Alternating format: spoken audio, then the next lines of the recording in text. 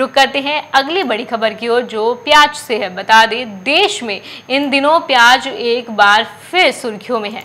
हालाँकि इस बार कारण पिछले कारणों से अलग है। दरअसल प्याज इन दिनों अपनी दुर्दशा को लेकर चर्चा में बना हुआ है। इससे देश के प्रमुख प्याज उत्पादक राज्य महाराष्ट्र के किसान परेशान है।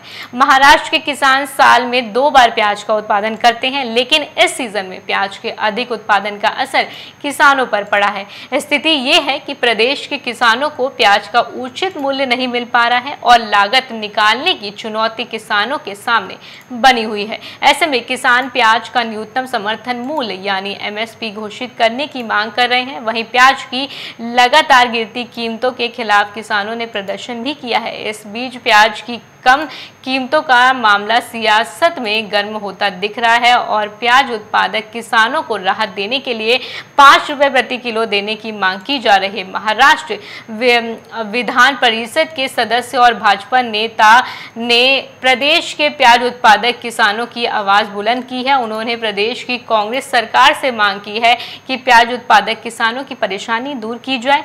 नासिक ज़िले में प्याज उगाने वाले किसानों द्वारा आयोजित एक कार्यक्रम में उन्होंने राज्य सरकार से प्याज की इनपुट लागत पर पाँच रुपये प्रति किलो की सब्सिडी देने की मांग की है।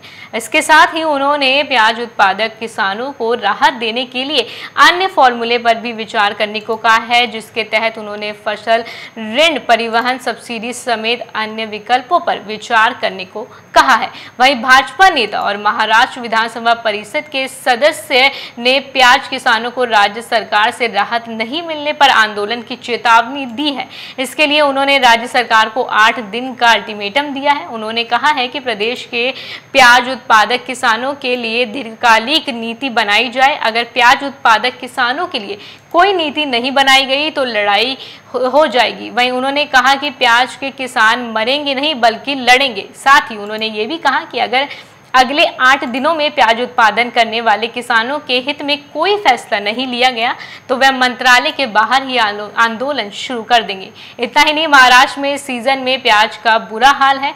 आलम यह है कि प्रदेश में एक बार फिर प्याज 50 पैसे प्रति किलो बिक रहा है।